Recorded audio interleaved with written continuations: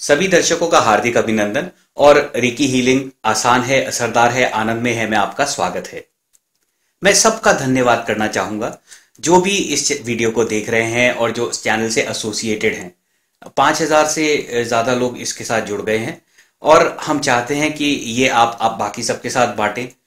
केवल recce healing नहीं, हम आगे जाके ध्यान डाउजिंग सबकॉन्शियस माइंड एनएलपी इन सब की भी बातें करेंगे। आपको जो विधि अच्छी लगती है, आप अपना के और जो हमारे देश की विधियाँ हैं, उन सबको अपना के अपने जीवन को और अच्छा बनाएँ। यह वीडियो हम हफ़्ते में एक बार करेंगे, जिसमें हम पूरे हफ़्ते में जो क्वेश्चंस हैं, उसमें से कुछ क्वेश्चंस लेंगे और क्वेश्चन आंसर्स के फॉर्म में हम सबके साथ बांटना चाहेंगे कि क्वेरीज क्या थी और उनके हमारी तरफ़ से क्या सजेशंस हैं, जिससे सबका फ़ायदा हो सकता है। तो वेडनेसडे को एक बार हम ये क्वेश्चन आंसर का वीडियो करेंगे। इसको शुरू करने का एक और कारण भी है कि जो हमने लेवल वन में ऑनलाइन अट्यूनमेंट की प्रक्रिया शुरू करी है और लेवल टू की भी अभी कुछ दिन में शुरू करेंगे, इनके वीडियोस में जो भी क्वेश्चन है, आप उनके नीचे कमेंट में डाल दें। अगर हम उसी समय आंसर कर सकते हैं तो हम उसमें कर देंगे। नहीं तो हफ़्ते में एक बार हम इसको यहाँ पर कवर करेंगे ताकि सबके लिए ये एक ज्ञान का सोर्स बन जाए। अब पिछले हफ़्ते में से हम कुछ क्वेश्चंस लेते हैं। सबसे पहला क्वेश्चन है कि क्वेश्चन है कि सर, रेकी के साइड इफ़ेक्ट भी होते हैं, काफ़ी ने वीडियो भी बनाया है। हमने भी काफ़ी आर्टिकल्स पढ़े हैं, काफ़ी जगह लोग बोलते हैं कि रेकी के साइड इफ़ेक्ट होते हैं, कभी पेट खराब हो जाता है, कभी लोगों को जुकाम हो जाता है, या अट्यूनमेंट के बाद लोगों को कुछ कुछ शारीरिक परेशानियाँ होती हैं। यह सब रेकी के साइड इफ़ेक्ट नहीं है। यह बॉडी का एक नेचुरल बैलेंसिंग प्रोसीजर है। रेकी हीलिंग या कोई भी हीलिंग, जैसे ध्यान की पद्धति है, उसमें आप अपना आभा मंडल बहुत अच्छा कर लेते हैं। ध्यान में भी यह प्रक्रिया आप धीरे धीरे करते हैं। लेकिन अगर आपका आभा मंडल बहुत अच्छा हो जाए और आपकी शारीर शरीर में वो क्षमता नहीं है कि उस बहुत अच्छे आभा मंडल में या एकदम से बढ़े हुए फ्लो को वो हैंडल कर पाए तो आपको शारीरिक परेशानियाँ इसलिए लगती हैं, क्योंकि उस समय शरीर अपने को बैलेंस कर रहा होता है उस फ्लो के अकॉर्डिंग सक्षम बनाने के लिए। अब आप नेचुरल बैलेंसिंग में एग्ज़ाम्पल लें कि अगर बुखार होता है तो जब शरीर में कीटाणु होते हैं तो ताप बढ़ता है और वो एक नेचुरल तरीके से उस कीटाणु को मारता है और बॉडी बैलेंस होकर एक अच्छी स्थिति में आ जाती है। उसी तरह से आभा मंडल में जब रेकी हीलिंग करने से या मेडिटेशन करने से बहुत तेज प्रवाह होता है तो कभी कभी हल्का दर्द होता है, कभी किसी को इचिंग होती है कभी कभी एकदम से झटके से लगते हैं कि शरीर में एकदम से झटका लगा, फिर ठीक हो गया। ये सब अनुभूतियाँ होती हैं जब आप गहरे ध्यान में होते हैं। यह सब अनुभूतियाँ रेकी हीलिंग में भी होती हैं, क्योंकि आप एक ध्यान पे बेस्ड मेथडोलॉजी को अपना रहे हैं। कभी कभी जब ये थोड़ा ज़्यादा होती हैं, जब आभा मंडल में ज़्यादा अवरोध थे, फ्लो कम था, जब वो एकदम से ठीक होता है तो फ्लो एकदम से बढ़ जाता है। अब शरीर अपने को बैलेंस करने के लिए कुछ ना कुछ ऐसी गतिविधि करता है, जिसमें से जितनी भी नकारात्मक ऊर्जा है, वो बाहर निकल जाए और शरीर एकदम स्वस्थ स्थिति में आ जाए, जो नया अच्छा फ्लो है, उसके अकॉर्डिंग बैलेंस हो जाए। तो ये जितनी भी प्रक्रियाएँ हैं, आप इन्हें साइड इफ़ेक्ट का नाम न दें, यह बॉडी का एक नेचुरल बैलेंस करने का तरीका है। अगर आप याद करें, जो हमने हिस्ट्री पढ़ी थी रेकी हीलिंग की डॉक्टर उसुई ने जब 21 दिन की मेडिटेशन करी थी, उसके बाद उन्हें सडनली एनर्जी रिसीव हुई। लेकिन उनकी बॉडी इतनी केपेबल नहीं थी उस समय कि वो उस एनर्जी को होल्ड कर पाए, या उस तेज फ्लो में एकदम से अपने आप को बैलेंस कर पाए तो वो बेहोश हो गए थे। धीरे धीरे जब उनकी शरीर की स्थिति ठीक हुई, उनके मन की स्थिति ठीक हुई, जो उस फ्लो के अकॉर्डिंग थी, जो नया फ्लो था तो वो उठे और एकदम अच्छी एनर्जी में थे, पहले से भी अच्छी। तो इसी तरह से रेकी हीलिंग करने से जब भी बॉडी ऐसी बैलेंसिंग करती है तो उसके बाद जो लास्ट में बैलेंस रिज़ल्ट होता है, वो पहले से अच्छा होता है। तो जो हम रेकी के साइड इफ़ेक्ट बोल रहे हैं, ये एक नेचुरल बैलेंसिंग प्रोसीजर है। साइड इफ़ेक्ट अगर हम कुछ बोलते हैं तो वो तब बोलना चाहिए जब किसी चीज़ से कुछ खराब हो। यहाँ पर कुछ अच्छा ही हो रहा है। जब भी इस तरह की आप कोई चीज़ फेस करें कि हीलिंग करने से या एनर्जी हीलिंग करने से आ, कुछ गड़बड़ हुई है जो कि शारीरिक रूप में आपको लगती है तो आप उसको कंटिन्यू करें। जिसकी आप हीलिंग कर रहे हैं उनको भी आप सलाह दें कि आप इसे कंटिन्यू करिए। धीरे धीरे बॉडी अपने आप एक अच्छे बैलेंस में आ जाएगी। आँखों को लेकर काफ़ी क्वेरीज आई हैं कि क्या हम आँखें ठीक कर सकते हैं? तो हम इसे किस तरह से रेकी हीलिंग में सम्मिलित करें कि हमारी आँखें अच्छी हो जाएँ? तो सबसे पहले तो रेकी हीलिंग में सबसे सिंपल प्रोसीजर तो वही है जो हम 24 पार्ट हीलिंग में करते हैं कि आप अपनी आँखों के ऊपर हाथ रखकर हीलिंग करें। यह तो सबसे सिंपल तरीका हो गया। इसके अलावा आप आज्ञा चक्र पर हीलिंग करें और साथ साथ कुछ एक्सरसाइजेज अपनाएँ, जो कि सिंपल सी योगिक एक्सरसाइजेज होती हैं, जिसमें आप अंगूठा आके ले जाकर, त्रातक की तरह आगे पीछे लाते हैं, फिर साइड में ले जाते हैं और पूरा होराइजन तक आप पूरी गर्दन घुमा के अपने अंगूठे पर फोकस करके अच्छी तरह देखते हैं। अपनी आँखों को क्लॉकवाइज एंटी क्लॉकवाइज में घुमाएँ। अगर आप ये एक्सरसाइज रेगुलरली करते हैं तो आपकी आँखें या तो जहाँ पर थी, वहाँ से और खराब नहीं होती, या खराब है तो थोड़ी अच्छी भी हो जाती हैं। हम आपको अपना पर्सनल एग्ज़ाम्पल बताएँगे। हमने बहुत ज़्यादा पार के लिए तो नहीं, लेकिन हमारा minus zero point two five पार का चश्मा लगा था, जिसे हमने रेकी हीलिंग और यही त्रातक की एक्सरसाइज करके धीरे धीरे अपने आप ठीक कर लिया। और अब अब हम वापस बिल्कुल उसी तरह से देख पाते हैं, जैसे हम पहले देखते थे। इसमें कुछ आजकल भ्रम भी जुड़े हैं, कि आँखें ज़्यादा देर तक काम करने से खराब हो जाती हैं अगर हम कंप्यूटर पे बहुत देर तक काम कर रहे हैं तो आँखें खराब हो जाती हैं। ये ज़रूर हानिकारक चीज़ें हैं, लेकिन अगर हम मन में लेकर चले कि इससे आँखें खराब होंगी ही होंगी तो ये सब काम तो आपको रोज करने पड़ते हैं। अगर आप अपना मन बना लेंगे, सबकॉन्शियस को कंडीशन कर लेंगे कि इन चीज़ों से हमारी आँखें खराब होती हैं, ठीक नहीं हो सकती तो आपकी आँखों को ठीक होने में समय लगेगा। तो आपको अपने को इस तरह से कंडीशन करना है कि यह शरीर अपने आप को हेल्दी स्टेट में रख सकता है। मेरे को डिवाइन पावर रिसीव होती है, जो मैं हर जगह अपनी आँखों से भी भेजती हूँ या भेजता हूँ। एक तरीका होता है रेकी हीलिंग में, जिसे ग्योशी हो बोलते हैं। यानी कि आँखों से हीलिंग भेजना। ये लेवल वन के पाँचवें वीडियो में आएगा, जहाँ पे हम जैपनीज टर्म कवर कर रहे हैं। तो इस तरह से जब आप हीलिंग करते हैं तो आप अपने आँखों की भी कंटिन्यूस हीलिंग कर रहे होते हैं, क्योंकि आपकी जो कामना है कि ब्रह्मांड से ऊर्जा आ रही है, हम तक आ रही है, और आँखों से होकर हर जगह जा रही है। जब आप इस तरह से लगातार हीलिंग करते हैं तो धीरे धीरे आपकी आँखों पर भी अच्छा असर होने लगता है। अगर आप प्राणायाम में विश्वास रखते हैं या आप प्रैक्टिस करना चाहते हैं तो आप अनुलोम विलोम, कपाल भाती और भ्रामरी प्राणायाम ज़रूर करें। कपाल भाती प्राणायाम करने के बाद ज़रूर याद रखें कि आप बाह्य प्राणायाम ज़रूर करें। आपको ये सब करने से बहुत अच्छा लाभ होगा। प्राणायाम एक एनर्जी हीलिंग का ही तरीका है। ये हमारे देश की विधि है, योग की विधि है। और बहुत ही अच्छी विधि है। इससे बहुत जल्दी असर होता है। अगर आप देखेंगे कि आपकी आँख अगर बहुत जल्दी ठीक मतलब चश्मा उतर नहीं रहा है तो कम से कम और बढ़ेगा नहीं। खाने पीने का भी इसमें थोड़ा सा ध्यान रखना पड़ता है और एक और बहुत इंपॉर्टेंट चीज़ है कि आप सुबह उठकर अपनी आँखों को धोएँ और कुछ देर उगते हुए सूरज को रोशनी को देखें। उगते हुए मतलब कि जो बिल्कुल सनराइज हो रहा है, उसके 10-15 मिनट बाद तक। जैसे थोड़ा ऊपर आ जाए, तेज नहीं। बिल्कुल जो ऑरेंज कलर का सूरज ऊपर आता है, उस कलर में आप सूरज को देखें तो आँखों की रोशनी को ठीक करने में बहुत फ़ायदा होता है। हमने खुद ये तरीके अपनाए हैं, इस, इसके बाद आपको बता रहे हैं। ये इन सबसे बहुत फ़ायदा होता है। तो आप ज़रूर ट्राई करें और आप दूसरों को एग्ज़ाम्पल दें कि हमने इस तरह से अपनी आँखें स्वस्थ रखी हैं। एक अगला सवाल आभा मंडल को लेकर था। जिसमें यह बोला गया था कि मैंने अंगूठे की और आपने बताई, उसके अनुसार देखा। थोड़ी प्रैक्टिस से अंगूठे के चारों ओर एक चमकीला सफ़ेद दिखा। आपसे यह जानना है कि जब मैं अपनी और मिरर में देखती हूँ, तब मेरे हेड के चारों ओर तरफ़ एक सफ़ेद घेरा दिखता है।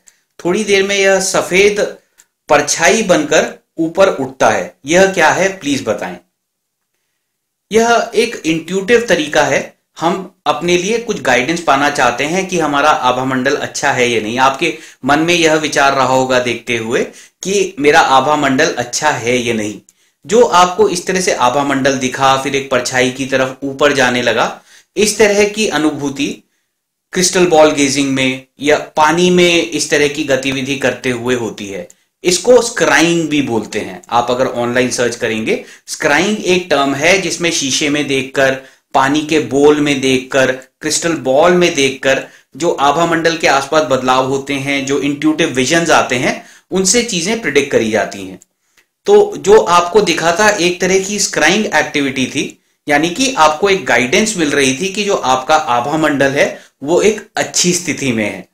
ज़्यादातर स्क्राइंग में या क्रिस्टल बॉल गेजिंग में इस तरह के सबको अपने अलग अलग तरीके से दिखते हैं। किसी को अल्फ़ाबेट दिखते हैं, किसी को बादल दिखते हैं, किसी को आभा मंडल परछाई की तरह दिखता है, जैसे आपको दिखा था। और इस एक्टिविटी में जब आभा मंडल इस तरह से आपको परछाई की तरह ऊपर जाता हुआ दिख रहा है, यानी कि एक पॉजिटिव साइन है। तो आपका आभा मंडल एक अच्छी स्थिति में आप इसे अच्छा बनाकर रखिए। और ज़्यादा आप अपनी इन इंट्यूटिव कैपेबिलिटीज की सर्च करिए। आप पढ़िए कि क्रिस्टल बॉल गेजिंग किस तरह से होती है स्क्राइंग किस तरह से होती है। आप और कोशिश करिए, आप अपने आप ही इसको सीख पाएँगे जब आप इतनी आसानी से अपने आभा मंडल को इस तरह से आप विजुअलाइज कर पा रहे हैं। एक और सवाल है, जो कि लिखा गया है कि जब मैं सोने जाती हूँ तो नाभि से पाँव तक चींटी जैसे काटने लगती है, ऐसा लगता है। और यह करीब ग्यारह पैतालीस से बारह बजे तक होता है और फिर नींद नहीं आती है। और यह करीब पिछले बीस साल से हो रहा है। हमारे आसपास आपको काफ़ी ऐसी चीज़ें मिलेंगी जो हम मेडिकल साइंस में एक्सप्लेन नहीं कर पाते या हम खुद भी नहीं समझ पाते। अब इसका रीजन मेडिकल साइंस में भी हो मेडिकल रीजन भी हो सकता है। इसका रीजन आपके आभा मंडल में भी हो सकता है। इसका रीजन आपसे कुछ जुड़ी हुई एनर्जीज का भी हो सकता है। तो इसका इस तरह से जवाब देना अभी संभव नहीं होगा, लेकिन मैं आपको कुछ सुझाव देता हूँ कि रीजन कुछ भी हो, आप ये करके देखिए, आपको ज़रूर इसमें मदद मिलेगी और आप एक अच्छी नींद सो पाएँगे। सबसे पहले तो ये कि आप क्षमा प्रार्थना पढ़िए। दिन में तीन बार पूरे ब्रह्मांड के लिए, आप चाहें तो www.betterall.net पे जाएँ और वहाँ के फ्री रिसोर्सेज पेज से हिंदी या इंग्लिश आप जिसमें भी जाएँ, एक क्षमा प्रार्थना दी गई है। आप उसे पढ़ें दिन में तीन बार, पूरे ब्रह्मांड के लिए। इससे होता क्या है कि अगर हमारे ऊपर कहीं से कोई ऊर्जा आ रही है जो हमारे लिए फेवरेबल नहीं है तो वह समाप्त हो जाती है, यानी कि उसका प्रवाह हमारे ऊपर नहीं आता है। या हमारे से कहीं ऊर्जा जा रही है जो हमारे लिए अच्छी नहीं है, उसका भी प्रवाह समाप्त हो जाता है, यानी कि जिसे नेगेटिव एनर्जी कॉर्ड्स बोलते हैं, ये अपने आप डिजोल्व हो जाती हैं।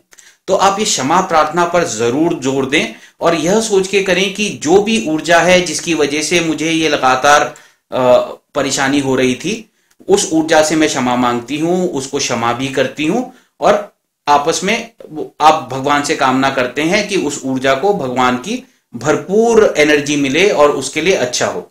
ऐसा करने से आप अपने को भी एनर्जी देते हैं और इन चीज़ों को अपने से दूर रखते हैं। अब हीलिंग करते हुए आप याद रखें कि जब इस तरह के इशू होते हैं तो ज़्यादातर मूलाधार चक्र पे प्रवाह में कुछ कमी होती है या कहीं पे कुछ अवरोध होते हैं। तो अपने मूलाधार चक्र को रोज अच्छी तरह से हील करें।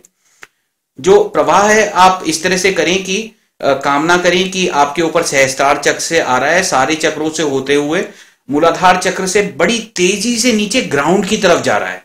और जब आप ये कामना करें या विजुअलाइज करें कि आपके कमर से नीचे वो बड़ी तेज़ी से जा रहा है तो आप देखें कि आपके पाओ से, घुटने से, पूरे पाओ के तलवे पे जो चक्र हैं, वहाँ से होते हुए बड़ी तेज़ी से सेंटर ऑफ़ द अर्थ की तरफ़ सारी नकारात्मक ऊर्जा ड्रेन हो रही है। ये आप रेगुलर विजुअलाइजेशन का तरीका बनाए। जब आप सोने जाते हैं, उससे पहले आप अपने अपर और लोअर चक्रास की बैलेंसिंग के लिए आप सेहकी का इस्तेमाल करें। जो कि बैलेंसिंग सिंबल है आप अपने ऊपर सेहे की ड्रॉ करें इस आ, कामना से कि मेरे सारे चक्र पूरी तरह बैलेंस्ड रहे। मेरे जो सर्कुलेटरी सिस्टम है नर्वस सिस्टम है जो मेरी फ़िज़िकल बॉडी है जो मेरे को सारे फ़ीड दे रहे हैं सब अच्छी तरह काम करें। मेरा पूरा शरीर अच्छी तरह काम करे।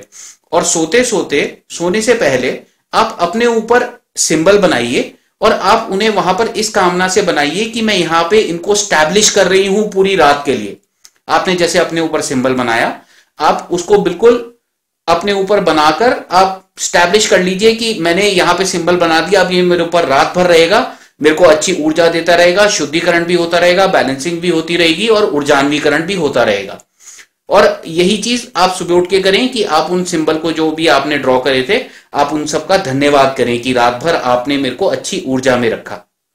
सोने से पहले आप हमेशा अपने मन में सोचें कि हे ईश्वर तेरा धन्यवाद तूने मुझे बहुत अच्छा जीवन दिया है और आप आ, मेरे को लगातार ये ऊर्जा देते रहे और रात भर मेरे को ऊर्जान्वित करते रहे कि मैं एक बहुत अच्छी नींद सोऊं मेरा शरीर बहुत अच्छी तरह से रहे मैं बिल्कुल स्वस्थ रहूँ। आप ये सोच कर सोइए और सुबह उठकर ईश्वर का धन्यवाद करिए। आप कुछ दिन ये करके देखिए आपको इसमें ज़रूर फ़ायदा होगा। जो पानी आप पीते हैं सबसे पहला उठकर जो सुबह ग्लास पानी का पीते हैं या सोने से पहले पीते हैं, आप उसमें यह ऊर्जा दीजिए। आप चाहे रेकी हीलिंग से करिए इंटेंशन से करिए, आप उसमें यह ऊर्जा दीजिए कि मेरे शरीर में हर चीज़ का प्रवाह, मेरे ब्रेन मेरा नर्वस सिस्टम सब कुछ बहुत अच्छी तरह हील्ड है, बहुत अच्छी तरह काम कर रहा है और मेरा शरीर एक शांत, स्वस्थ स्थिति में पूरे टाइम रहता है। आप इस तरह से अपनी हीलिंग करेंगे तो आपको ज़रूर कुछ ना कुछ फ़ायदा होगा। अगर आप डीपली चेक करना चाहते हैं तो आप ज़रूर या तो हमारे ऑफ़िस आ जाएँ या आप हमें फ़ोन कर लें तो हम इसको और गहराई में जान सकते हैं। और कुछ चीज़ें ऐसी होती हैं जो हम सबके सामने डिस्कस नहीं करना चाहेंगे, क्योंकि ये थोड़ी सी पर्सनल भी होती हैं। तो आप हमें फ़ोन करें तो हम आपसे बात करके उन चीज़ों को पूछकर आपको और तरीके भी बता सकते हैं। अगला क्वेश्चन है कि किसी की शराब छुड़वानी हो तो विश बॉक्स में क्या लिखा जाए? अगर आप अफर्मेशन का वीडियो याद करें तो आप उसमें केवल इतना लिखें कि जिस, जो भी है, वो केवल अच्छी, स्वस्थ चीज़ों का सेवन करते हैं। यानी कि वो केवल अच्छी चीज़ें खाते हैं जो उनके लिए स्वस्थ, जो उनको स्वस्थ रखती हैं, अच्छी चीज़ें पीते हैं जो उनको स्वस्थ रखती हैं। आप ये मत लिखिए कि व्यसन से दूर रहते हैं। आप केवल ये लिखिए, वो स्वस्थ रहते हैं, उनकी आदतें अच्छी हैं, वो सामाजिक रूप से अपने शारीरिक रूप से अपने पारिवारिक रूप से, उनके खुद की अच्छे के लिए जो भी चीज़ें हैं, वो सब वो करते हैं। आप इस तरह से अफर्मेशन लेके उनकी हीलिंग करिए। और जब भी आप किसी की हीलिंग इन चीज़ों के लिए करना चाहते हैं तो आप याद रखें कि मणिपुर चक्र पे, जो कि हमारी विलपार का क्षेत्र है, और अनाहत चक्र, जो कि हमारे इमोशन का क्षेत्र है, क्योंकि जब भी कोई ऐसी चीज़ें छोड़ने लगता है तो इमोशनली बड़ा डिस्टर्ब होता है, फिर उनकी तरफ़ खींचता है। तो आप उनके विलपार पे और अनाहत चक्र पे, साथ में आज्ञा चक्र पे। इन तीन चीज़ों, इन तीन चक्रों पर ज़रूर हीलिंग करें, ताकि उनको एक सपोर्ट मिल सके। अब जिसको इस तरह की कोई लत लगी है, आपको उसके साथ सहानुभूति का, कई बार हम उन पर बड़ा गुस्सा करते हैं कि ये बड़े समाज के लिए बहुत ही गंदे लोग हैं। पर अगर आप ध्यान से देखें तो कई बार उनको हेल्प की ज़रूरत होती है। वो इस स्थिति में होते हैं कि उनको आपकी सहानुभूति की ज़रूरत है और वो शायद उससे बाहर निकल पाए। तो आप इन चीज़ों को सहानुभूति का मतलब ये नहीं है कि आप प्रोत्साहन देने लगे। आप उनके साथ सहानुभूति रखें और उनकी हीलिंग करें कि ये अच्छी राह पर चले। भगवान इनको भरपूर शक्ति दे, इनको विलपार दे, इनको अच्छे विचार दे कि ये अच्छी चीज़ पर, अच्छी राह पर चल सकें और एक अच्छा जीवन उनको मिले। एक आखिरी क्वेश्चन है कि हम आपको ज्वाइन करना चाहते हैं। हमारा ऑफ़िस दिल्ली में है, द्वारका में। आप जब भी चाहें हमारे ऑफ़िस में आ सकते हैं। आने से पहले आप फ़ोन ज़रूर कर लें कि हम उस समय फ्री हैं या नहीं। दूसरी बात, हमने ऑनलाइन अट्यूनमेंट का अब तरीका शुरू कर दिया है। वेबसाइट पे एक ऑनलाइन का पेज है, वहाँ पे पूरी हमने प्रक्रिया लिखी है। आप उसको पढ़कर देख सकते हैं कि आप किस तरह से ऑनलाइन भी अब रेकी हमसे सीख सकते हैं। वैसे तो हम सजेस्ट करेंगे कि आपके शहर में अगर कोई आपको सिखा सकता है, खासकर अट्यूनमेंट लेने की जो प्रक्रिया है, अगर आप पर्सनली ले तो ज़्यादा अच्छा है। अगर आपने रिकीनिंग सीखी हुई है अट्यूनमेंट पहले ले रखा है तो आप ज़रूर इन वीडियोस को देखें, इनका फ़ायदा उठाएँ और बहुत अच्छी तरह से हीलिंग करें। अगर आपके पास और कोई तरीका नहीं है, आप किसी दूर दराज के क्षेत्र में रहते हैं, आप रेकी मास्टर के पास नहीं जा सकते हैं तो आप ज़रूर हमें संपर्क करें और हम इस ऑनलाइन अट्यूनमेंट के तरीके को आगे बढ़ाएँगे। अगला वीडियो जो हम अपलोड करेंगे वो रेकी लेवल वन का पार्ट फाइव का होगा और उसके बाद हम अट्यूनमेंट की प्रक्रिया का वीडियो अपलोड करेंगे शायद कल या परसों में। तो आपको उससे बाकी की जानकारी भी मिल जाएगी। तो आप सबका बहुत बहुत धन्यवाद। आशा है कि इस तरह के क्वेश्चन आंसर के वीडियो आपका ज़रूर फ़ायदा करेंगे। आप अपने क्वेश्चन वीडियोस के कमेंट में लिखकर आप छोड़ें। हमें जब भी समय मिलेगा, हम उसमें आंसर करेंगे, नहीं तो हम इस तरह से क्वेश्चन आंसर वीडियो में उनको ले लेंगे ताकि सबका फ़ायदा हो पाए। बहुत बहुत धन्यवाद।